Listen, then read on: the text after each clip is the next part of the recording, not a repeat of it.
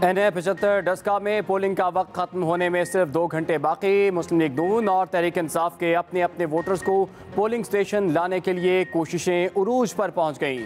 High tension मुकाबले में दोनों जमातों के कारकुनों का पारा भी हाई।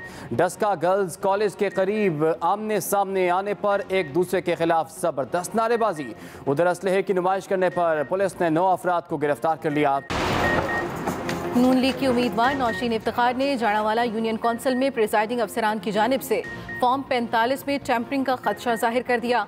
रिटर्निंग अफसर को खत लिख दिया। रिटर्निंग अफसर ने जवाब में कहा कि मस्कूरा प्रिजाइडिंग अफसरान को फ़राइज की अंजाम दही में मुनसिफाना और जिम्मेदाराना रवैया रखने की खसूसी हिदायत जारी कर दी गई हैं। पीटीआई उम्मीदवार अली असद मली कहते हैं, इस हलके में पहले भी पीटीआई जीती थी, अब भी पीटीआई ही जीतेगी। उस्मान डार के मुताबिक टर्न आउट ज़्यादा हुआ तो जीत तहरीक इंसाफ की होगी।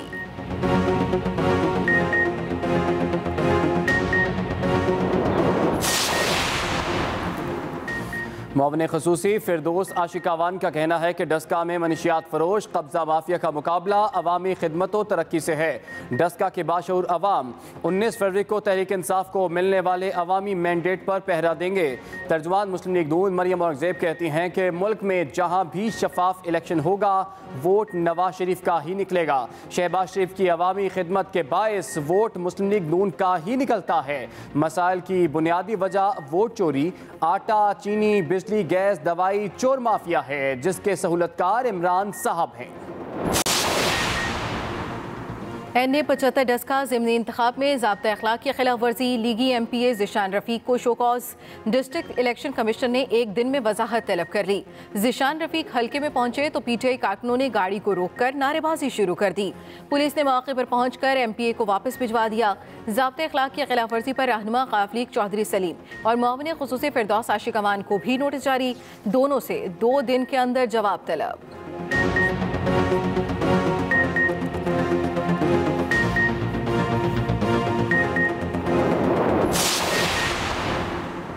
पीटीए रहनुमा जहांगीर तरीन और अली तरीन की सेशन अदालत और बैंकिंग कोर्ट में पेशी।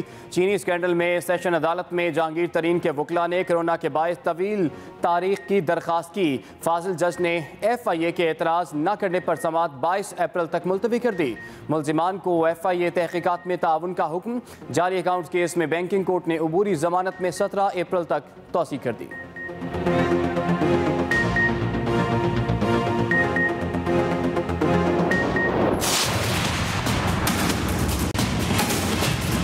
ज़रूर करें आप इंक्वायरी इन्वेस्टिगेशन प्रोसिक्यूशन मगर जो इस वक्त टीम कर रही है, वो बायस्ड है। वो आज़ादाना नहीं कर रही।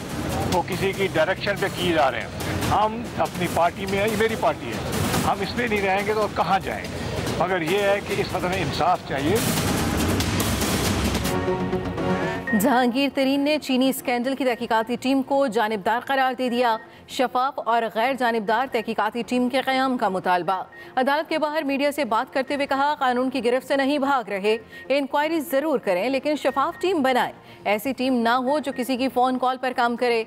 अदालत से इंसाफ की उम्मीद है। मुश्किल वक्त में साथ देने वालों का शुक्रिया अदा करता हूँ। मजीद कहा कि हम तहरीक इंसाफ में हैं, कहीं नहीं जा रहे। पार्टी में नहीं रहेंगे तो कहाँ जाएँगे? Thank you. तहरीक इंसाफ के रुकने कौमी असम्बली राजा रियाज कहते हैं, हम जहांगीर तरीन के साथ खड़े हैं। वजी अजम इमरान खान से हमारा मुतालबा है कि आपके इर्द गिर्द कुछ लोग पार्टी का सबसे कीमती असासा जहांगीर तरीन के खिलाफ साजिश कर रहे हैं। उन्हें टारगेट करके साजिश की जा रही है। झूठे मुकदमात बनाए जा रहे हैं। तहरीक इंसाफ के हमदर्द हैं ब्लैक मेलर नहीं। जहांगीर तरीन के साथ खड़े हैं। M P A Noman Langrial बोले हम इंसाफ चाहते हैं। नज़ीर चौहान ने कहा कि हमने इमरान खान का हर मुश्किल में साथ दिया। हमें गैर ना समझा जाए वजर अजम हमारा मौक़ सुनकर फैसला करें। पार्टी के हम ख्याल अरकान पार्लियामेंट का वजर अजम को मुलाकात के लिए दरख्वास्त देने का फैसला।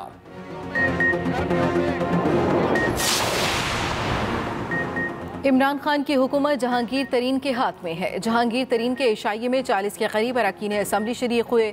ईशाई में अरकान ने अपनी हुकूमत के खिलाफ अदम अतमाद का इजहार कर दिया। शाहिद खाकान अबासी की कराची में मीडिया से गुफ्तु कहते हैं, इमरान खान की हुकूमत सात वोटों पर खड़ी है। सरकस लगी हुई है। मुल्क ज़्यादा देर इस किस्म की सूरत हाल का मुतहमल नहीं हो सकता। आइन की बालादस्ती कायम किए बगैर मुल्क तरक्की नहीं कर सकता।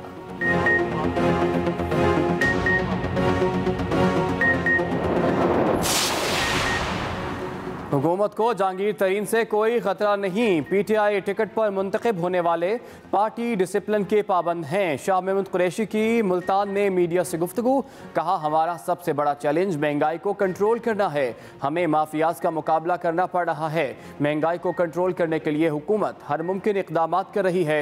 इस साल बजट में जनूबी पंजाब का तरक्याती फंड अलग होगा। जनूबी पंजाब का बजट अब जनूबी पंजाब में ही लगेगा।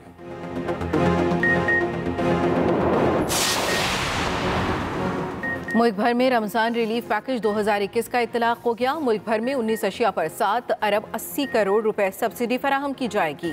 तर्जमान यूटिलिटी स्टोर्स के मुताबिक, मुल्क भर में मौजूद चार हज़ार यूटिलिटी स्टोर्स पर अशियाई ज़रूरिया की दस्तियाबी यकीनी बनाई जाएगी। उधर पंजाब में आज से रमज़ान बाजारों का आगाज़ कर दिया जाएगा।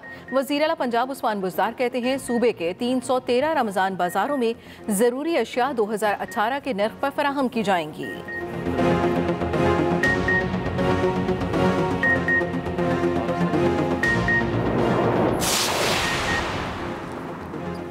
पीडीएम आपस में दस्तों गिरेबा है। वफाकी वज़ीर हवाबाजी गुलाम सरवर की प्रेस कॉन्फ्रेंस, कहा पीपल्स पार्टी और नून लीग के अपने अपने मुफादात थे। उन्होंने इस्तीफा देना था लेकिन नहीं दिया। सेनेट इलेक्शन का बाइकआउट करना था लेकिन फिर इसमें भी हिस्सा लिया। पहले ही कहा था, चूचू का मुरब्बा ज़्यादा देर साथ नहीं चल सकता। हमारा असल मसला महँगाई है।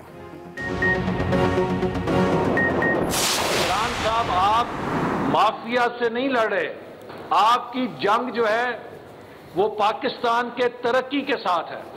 और जिन माफियाज की आप बात करते हैं, सबसे बड़ा माफिया तो आप हैं।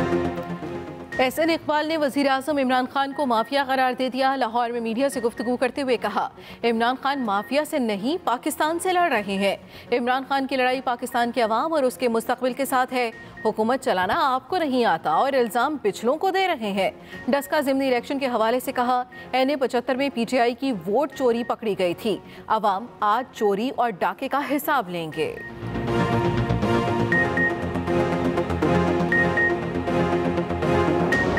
अभी आगाज़ में बात करते हैं एन पचहत्तर डस्का की, जिसमें पोलिंग का वक्त खत्म होने होने में अब कुछ ही वक्त बाकी है। मुस्लिम लीग नून और तहरीक इंसाफ की अपने अपने वोटर्स को पोलिंग स्टेशन लाने की कोशिशें इस वक्त उरूज पर पहुँच चुकी हैं। हाई टेंशन मुकाबले में दोनों जमातों के कारकुनान का पारा भी हाई दिखाई दे रहा है। डस्का गर्ल्स कॉलेज के करीब आमने सामने आने पर एक दूसरे के खिलाफ ज़बरदस्त नारेबाजी की गई। उधर असले की नुमाइश करने वाले नौ गिरफ़्तार अफराद का ताल्लुक नून लीग और पीटीआई से बताया जा रहा है। मुलजिमान असलहा लेकर पोलिंग स्टेशन के बाहर घूम रहे थे। पुलिस ने थाने में उन्हें बंद कर दिया। आज किसके सर पर सजेगा, इसका फैसला आज होगा। हल्के में गहमा गहमी इस वक्त उरूज पर पहुँच चुकी है। वोटिंग का अमल जारी है, जो कि शाम पाँच बजे तक बिला किसी रुकावट के जारी रहेगा। अपने नुमाइंदगान से बात कर लेते हैं। इस वक्त हमें हमारा नुमाइंदे तैयब मुगल ने ज्वाइन कर लिया। इसके साथ साथ नदीम चौधरी भी हमारे साथ मौजूद होंगे। सबसे पहले बात कर लेते हैं। अपने नुमाइंदे तैयब मुगल से उनसे पूछेंगे। अच्छा ये मुझे बताइए तैयब, क्या सूरत हाल है इस वक्त? और यहाँ पर कुछ ही वक्त बाकी रह गया है। कैसे इंतज़ाम देख रहे हैं अब तक के लिए? और टर्नआउट क्या है? देखें पोलिंग का ख़त्म होने खत, टाइम ख़त्म होने में तकरीबन दो घंटे से भी कम का वक्त रह गया है। और अगर टर्नआउट की बात की जाए तो तीन बजने के बाद जो वोटर्स की तादाद है वो पोलिंग स्टेशन का रुख कर रही है खसूस अगर शहर के पोलिंग स्टेशन की बात की जाए तो वहाँ पर जो वोटर है खातन वोटर है मर्द वोटर है वो ज़्यादा से ज़्यादा जो है वो पोलिंग स्टेशन का रुख कर रहे हैं उसके अलावा जो नू लीग और पी टी पीटीआई के उम्मीदवार हैं उनकी भी यही कोशिश है कि जो लोग रह गए जिन्होंने वोट कास्ट नहीं किया उनको पोलिंग स्टेशन तक जो पहुँचाया जाए। आज जो बात देखने को आई है वो ये है कि जो मजदूर लोग हैं, वो खुद चल के जो है वो पोलिंग स्टेशन पर आए हैं बैसाखियों का सहारा लेकर व्हील चेयर पर आए हैं और उनकी बड़ी तादाद जो है वो मुख्तलि पोलिंग स्टेशन पर देखने को मिली है और खातन की जो तादाद है वो यहाँ पर आई है और इसके साथ साथ तमाम जो पोलिंग स्टेशन पर वोटर्स की गहमा गहमी जो है वो देखने को मिली है, जो नून लीग और पीटीआई के उम्मीदवार है वो तमाम पोलिंग स्टेशन का जो जो है वो विज़िट कर रहे हैं। अभी कुछ देर पहले यहाँ पर नूली के उम्मीदवार नशीन इफ्तार यहाँ पर आई है जिन्होंने मीडिया से बात भी की है और उन्होंने इलेक्शन कमीशन इंतजामिया की तरफ़ से किए गए इंतज़ाम को तसली बख्श करार दिया है। और उनका ये कहना है कि वोटर जो है वो ज़्यादा से ज़्यादा घरों को निकले निकले और अपने मनपसंद के जो वोटर है उनको वोट दे।